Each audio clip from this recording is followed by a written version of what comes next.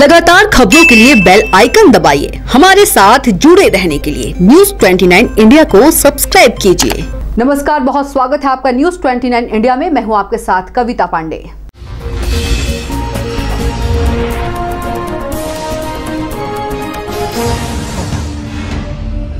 इन दिनों शासकीय स्कूलों में खेल कूद गतिविधियाँ आयोजित हो रही है। उत्साह के साथ स्कूली बच्चे भाग लेकर अपने खेल का प्रदर्शन कर रहे हैं।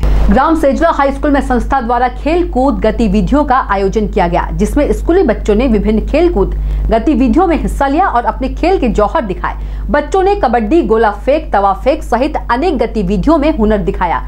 संस्था के प्राचार्य शिव सिंह सेनानी ने बताया कि साल भर में वार्षिक उत्सव के दौरान खेल कूद गतिविधियाँ की जाती है। जिसमें विभिन्न खेल आयोजित किए जाते हैं। अच्छे प्रदर्शन करने वाले छात्र छात्राओं को गणतंत्र दिवस पर पुरस्कृत किया जाएगा। Bureau report, news 29 India. खेलकूद का आयोजन किया जाता है। ये छब्बीस जनवरी के पहले मनाया जाता है। इसके खेलकूद के अंतर्गत तीन दिवस निर्धारित किए जाते हैं। इसमें विभिन्न प्रकार के खेल का आयोजन किया जाता है।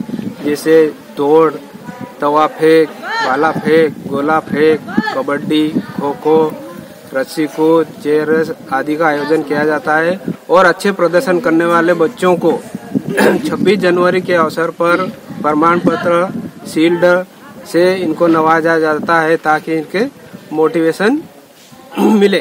तो आप देखते रहिए न्यूज़ 29 इंडिया एक देश, सारे प्रदेश।